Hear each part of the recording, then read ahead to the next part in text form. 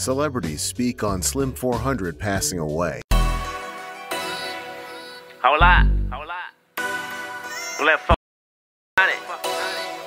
Young and up and coming rapper Slim 400 had just finished paying tribute to his fallen comrade Young Dolph when he was targeted in a homicide attempt. Unfortunately for the rap community, the 33 year old was shot and killed. Welcome to Lime Report. Today we'll be telling you everything you need to know about this situation, one detail at a time, so be sure to pay close attention. Before we get into this video, make sure to leave a like, subscribe, and comment keyword 400 for a chance at winning our giveaway. Now back to the video. Slim 400 was born as Vincent Cochran on June 21, 1988 in Frankfurt, Germany to military parents before moving to Los Angeles, California as a child. He was known for rapping songs about his time on the streets of LA, including his hit song Bruisin', which featured YG and Sad Boy Loko. Compton rapper Slim 400 was fatally shot in California on Wednesday evening. Police confirmed to ABC News he was 33. The shooting occurred hours after the hip-hop artist shared a tribute on Instagram to fellow rapper and collaborator Young Dolph, who was shot and killed last month while visiting a bakery in his hometown of Memphis, Tennessee. Police confirmed on Thursday afternoon that Vincent Cochran, Slim 400's legal name, was shot around 7:50 p.m. local time along the 8600 block of 7th Avenue in Inglewood. Inglewood police patrolling the neighborhood heard gunshots and responded, finding Cochran down on the ground suffering from a gunshot wound, according to a spokesman for the Inglewood Police Department. Emergency medical aid was administered to the rapper and he was then transported by LA County Fire Department personnel to a local hospital where he died. As of Thursday afternoon, police said no arrests had been made and the investigation is ongoing. Newly released surveillance footage captured the chilling moment a gunman strolled up to rapper Slim 400's LA driveway and shot him eight times, killing him. The grim black and white footage, whose authenticity has been confirmed by police, shows an unidentified gunman pulling up to the rapper's Inglewood driveway with a gun in his hand and approach a parked vehicle where Slim 400 was seated. The gunman was captured firing at the rapper three times as Slim 400 lunged at the shooter as they stepped back. As he is being shot, Slim 400 looks to be reaching or holding onto the gun or to the shooter's arm. The gunman continues to shoot the rapper who keeps moving towards the street before he flees the scene. The execution came just hours after Slim 400 released a new music video for the song Caviar Gold and follows a brush with death in 2019 when the rapper was shot eight times. Separately, Slim 400 has also feuded with snitch rapper Tekashi 69 and got into a public shouting match with him in 2018. Hours before Cochran was killed, he shared a screenshot originally posted by one of his fans to his Instagram stories of the cover art for his 2019 song Shake Back, featuring Dolph, along with the letters RIP. The cover art includes an image of a tombstone displaying the names of both rappers, and amid the news of Cochran's death, it has been shared widely in hip hop circles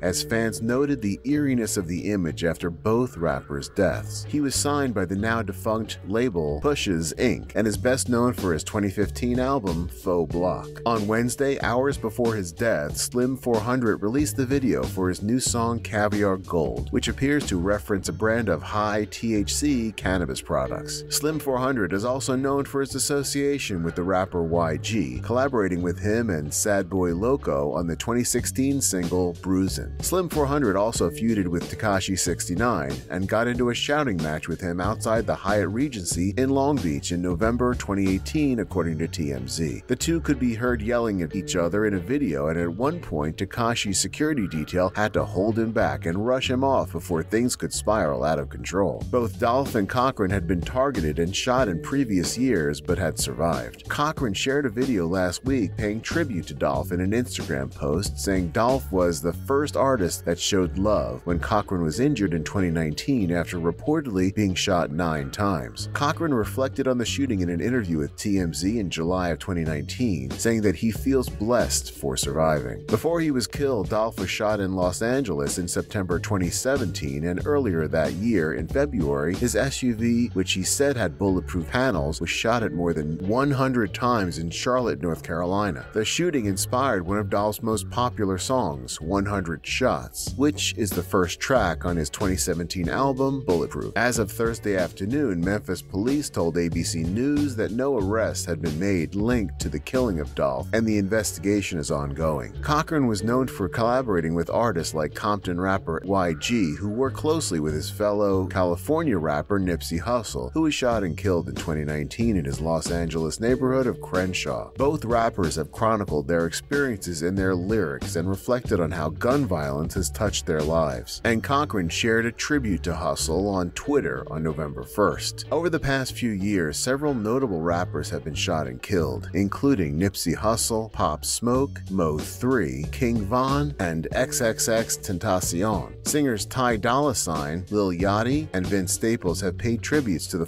fallen rapper. Let's hope this violence comes to an end soon before we lose any more people. That's all for this video. Thanks for sticking to the end. Make sure to leave a comment, keyword turkey, for a chance at winning our giveaway. Stay tuned as we keep you updated on everything rap. See you next time on Lime Report.